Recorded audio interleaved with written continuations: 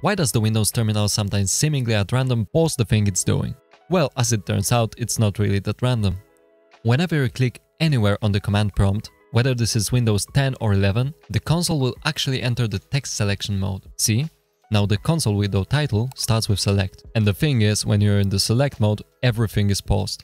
Not only the terminal output, but also the script execution. You can leave the select mode by having the terminal window active and pressing the enter key. Once you exit the select mode, the terminal should now resume its work. Like this.